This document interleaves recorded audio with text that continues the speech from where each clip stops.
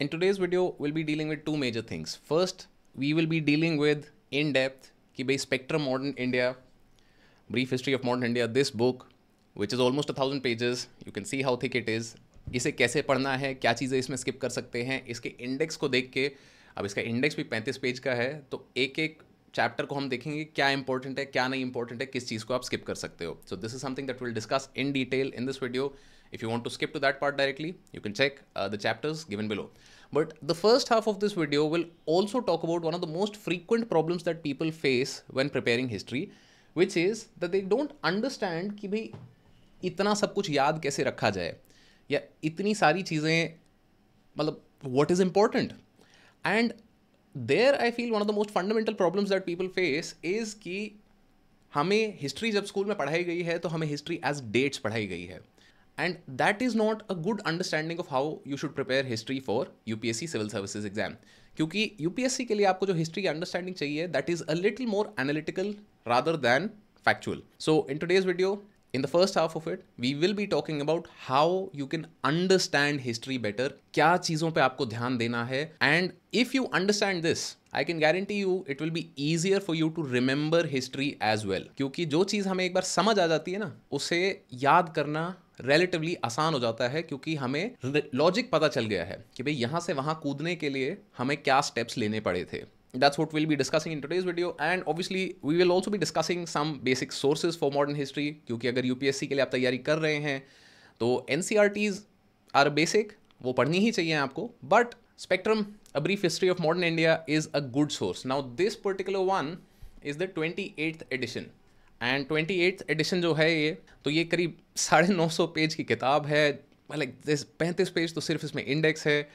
And obviously this just like too much information तो ये to much information वाला जो पार्ट है, इसके बारे में हम काफ़ी कुछ करेंगे। We will go chapter by chapter and discuss कि कौन से चैप्टर्स आप यहाँ स्किप कर सकते हैं, कौन सी चीज़ें आपके लिए इंपॉर्टेंट है एंड कौन सी आपके लिए वेरी इंपॉर्टेंट है। and which are the parts that you can just read as a story and not be too concerned about it? So, before we proceed further on to that fundamental discussion, अब बहुत से लोग ये भी सवाल पूछेंगे कि भाई और सोर्सेज हैं हिस्ट्री के, क्या हम ये भी पढ़ सकते हैं? तो ये भी आप पढ़ सकते हो। These are also good sources Bipin Chandra is a fine source Plassey to partition by Shekhar Bandyopadhyay is a very good source now some others might ask कि भाई पूनम दलाल दहिया की एक किताब है। वो पढ़ सकते हैं, जी आप पढ़ सकते हो, नितिन सांगवान की किताब है, पढ़ सकते हैं, पढ़ सकते हो। ये किसी भी सोर्स को आप उठा के पढ़ सकते हो but obviously since Spectrum is one of the most popular sources we will be discussing on the basis of जो स्पेक्ट्रम के हमारे चैप्टर्स हैं which brings us to the discussion of what are the biggest problems with our understanding of history कि भाई history समझने में कभी कभार लोग इतना क्यों घबरा जाते हैं, ऐसा क्यों लगता है कि भाई कितना कुछ पढ़ना है, क्या कुछ है? जो कि है। आई एम नॉट सेइंग कि भाई कम है यहाँ पे पढ़ने के लिए but the biggest problem is because we think history is person centric कि भाई इस इंसान ने क्या किया, हमको सब कुछ याद करना है, फिर ऐसे पचास और इंसान ने क्या किया, उनका सब कुछ याद करना है। तो obviously it becomes a little overwhelming दूसरी चीज़ हमें हमेशा लगता रहता है कि भाई सारी डेट्स हमें याद करनी है, सब कुछ याद करना है। ये स्पेक्ट्रम जैसी किताबों में क्या होता है कि बहुत माइन्यूट डेट्स आपको दी हुई होंगी कि भाई date of formation of Congress date of first session of Congress है। वो फ़र्स्ट सेशन स्टार्ट कब हुआ एंड कब हुआ? अब now somebody who's reading Spectrum for the first time they will feel कि भाई यार ये स्टार्ट एंड सब कुछ इंपॉर्टेंट है। This is where P Y Qs are going to be a great source for you कि आप यूपीएससी की तैयारी कर रहे हो तो हमेशा हमेशा आप पी वाई क्यूज को साथ में लेके चले। क्योंकि पी वाई क्यूज देख के आपको एक ये बहुत सिंपल सी चीज़ क्लियर हो जाएगी कि भैया, सारी डेट्स याद करने से हमें कोई मतलब नहीं है। बेसिक इस चीज़ को आप समझिए कि for U P S C the understanding of history that you have to have is analytical so the first thing that we want to talk about in history is that you have to build a time line कि अगर इसको हम देखें ऐसे तो decline of Mughal started but at the same time जो Europeans India में आने वाले थे, वो भी आ चुके थे, वो भी चल रहा था। Colonisation of India had not begun fully yet but Europeans आ गए थे तो धीरे धीरे प्रोसेस वो भी चालू था। ना कॉलोनाइजेशन जब हुआ तो उस कारण से फिर सोशल रिलीजियस रिफॉर्म मूवमेंट्स भी चालू हुए। उसके बाद because of all of those great revolt हुआ। ग्रेट रिवोल्ट के कुछ सालों बाद because you know British Raj चालू हो गया तो then Congress was form Congress was form के बाद राइज ऑफ़ नेशनलिज्म हो गया। राइज ऑफ़ नेशनलिज्म के बाद आप कंटिन्यू कर सकते हैं इसको कि भाई you know moderates and extremist Gandhian phase independence and post independence so all of these things अगर आप एक बस टाइमलाइन के हिसाब से याद रखो तो आपका जीवन काफ़ी आसान हो सकता है which brings us to the second most important discussion. Any major empire or any major administrative system that exists goes through three distinct phases. The first is the build phase. तो बिल्ड फ़ेज़ में क्या हो रहा है? There is strong leadership क्योंकि किसी भी empire की बिगिनिंग में आप देखो ना तो there trying a lot of new things I am not just saying British empire I am not just saying Mughal empire any empire for it to start needs to have strong leaders क्योंकि अगर वो strong leader शुरू में ही नहीं है तो वो empire बनेगा ही नहीं. इनिशिएटिव है. माने कि are willing to try new things and then there is a strong economic phase ये जो शुरू शुरू में लीडर्स है they set up good systems now after that, then they are also winning wars. This brings us to the consolidation phase. They are also reforming the administration. कि भाई leakages plug कर रहे हैं एफिशिएंसी ला रहे हो system में ताकि भाई people are getting more productive and at the same time you are getting more taxes and money which leads to more expansion but जब एक्सपेंशन बहुत ही ज़्यादा हो जाए तो then comes the decline phase क्योंकि there brings about a sense of complacency right for example eighteen eighties nineties में क्या बोला जाता था? The sun never sets on the British empire and वहाँ से आप मतलब पचास, साठ साल की बात करो British empire almost ended as we knew it so that was the phase of complacency क्योंकि they were so strong they were so efficient they were so spread out and well developed that nobody could challenge them and finally because of that complacency you have new challengers that come up हमने example से जो यहाँ बात करी that is the example of a British empire but now understand that the same same things can apply to the Congress as well right क्योंकि initiative अगर शुरू शुरू में हम देखें शुरू शुरू में बात करें तो the first leaders of Congress they were taking a lot of initiative कि भाई प्रेयर पिटिशन इंटरसेशंस काफ़ी कर रहे थे कि भाई सबको सिखाने की कोशिश कर रहे थे कि भाई किस तरीके से you have to fight the British right then they set up a very strong economic base for the Congress क्यों? क्योंकि अगर कांग्रेस के पास पैसा ही नहीं है तो then Congress can not do anything then अब वॉर्स नहीं, क्योंकि now this was a non violent movement तो तो कांग्रेस को यहाँ पे आप बोलो starting movements building phase building phase के बाद फिर रिफॉर्मिंग एडमिनिस्ट्रेशन कि भाई even within the Congress there were a lot of efficiencies जो कि गांधी जी ने आके क्रिएट करी उसकी वजह से फिर obviously Congress gained Indian independence but अगर पोस्ट इंडिपेंडेंस हिस्ट्री में देखें तो फिर वो कंप्लेसेंट हो गए क्योंकि उन्हें लगा कि भाई एक ही पार्टी है और कौन आ सकता है and that led to eventually the rise of the Bharatiya Janata Party. So similarly, you can trace this entire circle all over again for the BJP. British के बाद कांग्रेस का देख लिया but you might have heard of this concept कि भाई history does not repeat itself but it often rhymes so this is the rhyme keeps getting repeated in different forms over time right तो अगर मैं simple सा एक timeline बनाऊँ तो जैसे हमने शुरू में बात करी थी कि हमें एक टाइमलाइन बनाने की ज़रूरत है तो ऐसा एक टाइमलाइन बहुत simply you can look at it as कि भाई Mughals went through the entire cycle, then came the time of east india company. East india company went through the entire cycle, then came the time of british empire, entire cycle. Congress,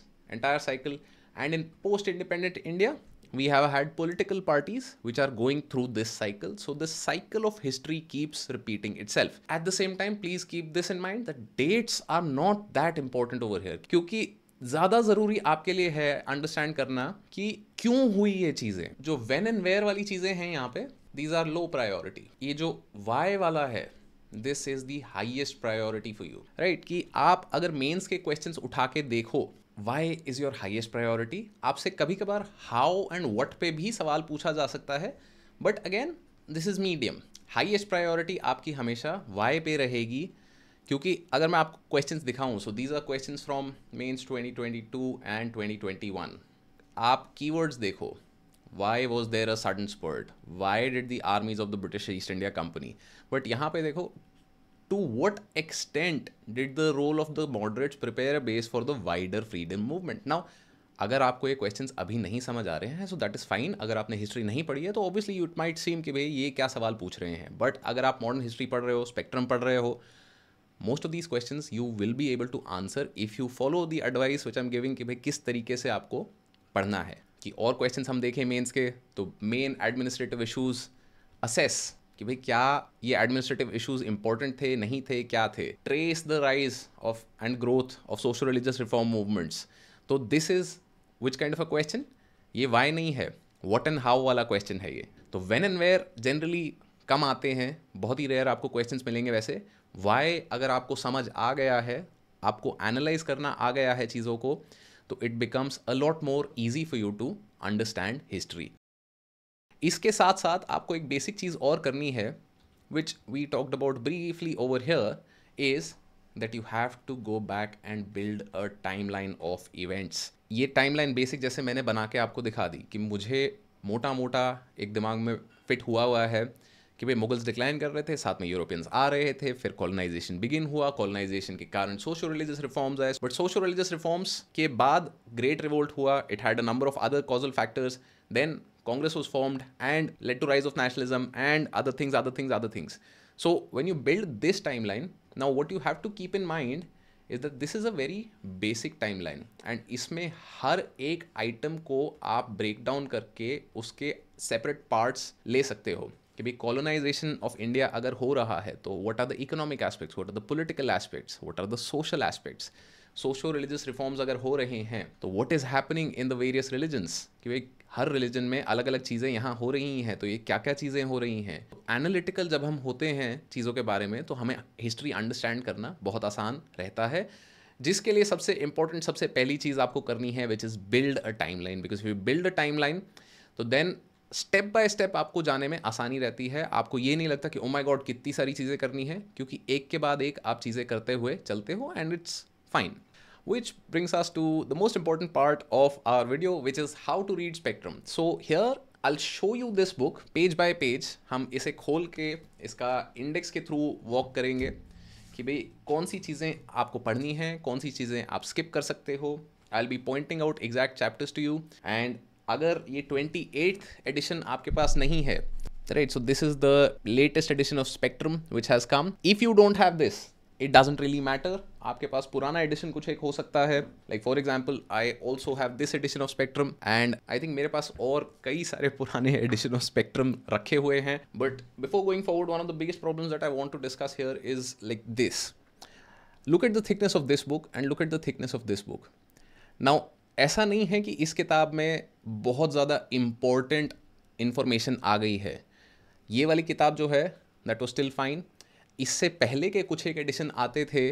जो कि और better थे। क्यों? क्योंकि concise information थी। But अब होता क्या है कि भाई हर साल एग्ज़ाम होना है, हर साल एग्ज़ाम होना है तो भाई अगले साल हमें करना है कि भाई हमारी किताब से सारे सवाल आए थे। After film comes out what happens is कि भाई जो भी सवाल आए, उनके लिए चैप्टर्स इंक्लूड कर लो तो then obviously the length of the books keeps increasing the first spectrum that I had read was probably around five hundred to six hundred pages now it's a thousand pages तो we will try and cut down कि भाई सबसे important चीज़ क्या है,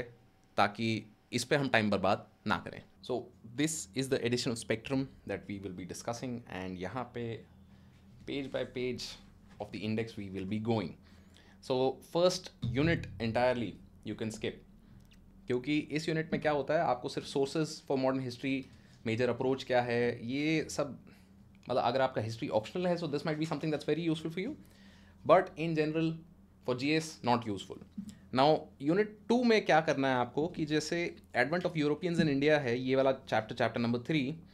तो this chapter इसके basics आपको बस ध्यान रखने हैं। स्टोरी की तरह आप पढ़ सकते हो इसे, कि भाई डेट्स बेसिक एक याद रख लो यहाँ पोर्चुगीज़ कब है डच कब है इंग्लिश कब है फ्रेंच कब है पहली फैक्ट्रीज इनकी कहाँ थी? और उससे ज़्यादा कुछ करने की आपको ज़रूरत नहीं है। And generally what you'll find is कि ये समरी वाला जो पे चैप्टर है यहाँ पे, ये सारा ऑलरेडी काम आपको करके दिया हुआ है। तो बहुत ज़्यादा आपको इसमें टेंशन नहीं लेनी है। Just read it as a story then India on the eve of the British conquest तो यहाँ पे जो कारण वाले हैं तो दीज सॉर्ट्स ऑफ़ थिंग्स इन चीज़ों को आप अगेन स्टोरी की तरह पढ़ो, ताकि एटलीस्ट आपको एक अंडरस्टैंडिंग ऑफ़ द हिस्ट्री रहे and you are not confuse about what exactly happened over here क्योंकि अब जैसे बहुत लोगों को लगता है कि भाई मुगल जो लेटर मुगल्स थे, वो वीक थे एंड उस कारण से देन ब्रिटिश वो supplanted the Mughals. But you have to understand why the Mughals वो वीक क्योंकि ऐसा नहीं है कि भाई Mughal empire was a weak empire so ये कारण वाली जो चीज़ें हैं these are things that you have to do over here now in the chapter of expansion and consolidation of British power again read it as a story but ये जो part है causes of British success in India and ये जो part है where we're talking about policy of ring fence, subsidiary alliance, doctrine of lapse these are the important parts rest read it as a story इसकी कोई dates आपको याद करने की ज़रूरत नहीं है यहाँ पे कोई डेट्स आपको बहुत ज़्यादा याद करने की ज़रूरत नहीं है। आपको कारण पता होने चाहिए जो कि यहाँ पे है causes of British success in India and then you want to understand about the administrative policies बाकी सारी जो चीज़ें हैं कि अब लिटन कब था John Lawrence policy of masterly inactivity proud reserve ये सब चीज़ें कहानी की तरह आप पढ़ सकते हो बहुत ज़्यादा टेंशन लेने की ज़रूरत नहीं है। So unit three is where the core modern history start for you and this is the important part for you तो यहाँ से आपको सीरियस रीडिंग देनी है। तो मतलब आप देख रहे हो यहाँ पे ऑलरेडी 139 पेजेस हो चुके हैं। इससे पहले का जो रीडिंग है that is a very story like reading उस पर बहुत ज़्यादा टेंशन लेने की ज़रूरत नहीं है। बट यहाँ से अब आपको सारी चीज़ें अच्छे से करनी है। तो coming to the next reform movement so this is important sections units unit three भी इंपॉर्टेंट है। यहाँ से स्टार्ट जो लिखा है this is very important section start from unit three unit four and unit five unit six ये basically आपके base units हैं कि यहाँ से आपको चीज़ें बेसिक समझ आएँगी कि भाई मॉडर्न हिस्ट्री में चल क्या रहा था। मॉडरेट फ़ेज़ क्या था एक्सट्रीमिस्ट फ़ेज़ क्या था। एंड देन यहाँ से जो हमारा नेशनलिस्ट मूवमेंट है, जो Swadeshi non cooperation all of those things those start from here right तो this is where things get very important तो सिक्स सेवन क्योंकि सेवन आप देखोगे तो this is one of the largest units and unit eight which is towards partition right so essentially what you have to understand is that unit 8 is also very important for you क्योंकि unit जो हमने लिए six seven eight ये they take history from 1905 to 1947 and these are the most important years for modern Indian history. This is where nationalism as a feeling emerged in India. And from here on एक बस unit nine है which is what you can say very very important why is this very very important बाकी सारी जो भी थी, क्योंकि this is where the core understanding of what is empire administrative कारण क्या है इकोनॉमिक कारण क्या है and a lot of the question that you getting in mains are from this part of the unit और sorry this part of spectrum तो ये वाली यूनिट आपको सबसे अच्छे से करनी है। कि अब जैसे आप देखोगे administrative policies revenue economic impact Indian press का डेवलपमेंट तो ये सारी चीज़ें आप यहाँ से करो। And post independence history again जो कि 671 टू ऑलमोस्ट थाउज़ेंड पेजेस है लास्ट के जो 300 पेज ऑलमोस्ट हो गए that you can read as a story क्यों? क्योंकि पोस्ट इंडिपेंडेंस हिस्ट्री से इतने सवाल नहीं आते हैं। बाद में जाके आपको इसको भी कंसोलिडेट करना पड़ेगा बट बेसिक आइडिया ये है कि भाई पोस्ट इंडिपेंडेंस हिस्ट्री को आपको बहुत ज़्यादा डिटेल में जाने के लिए इन द बिगिनिंग ज़रूरत नहीं है राइट right? तो that is the brief and अब लास्ट में एक और चीज़ आती है, क्योंकि ये 300 पेज की पोस्ट इंडिपेंडेंस हिस्ट्री के बाद आता है appendices so these are also important आपको इनको एटलीस्ट एक बार नज़र ज़रूर मारनी चाहिए एंड मौका मिले तो इन्हें दो तीन बार देख लो. क्योंकि क्या होता है कि भाई कभी कभार एक टेढ़ा मेढ़ा सवाल आ जाता है जो कि सॉल्वेबल था बट हमें लगता है कि भाई, ये कैसे हो गया, क्यों हो गया, क्या हो गया?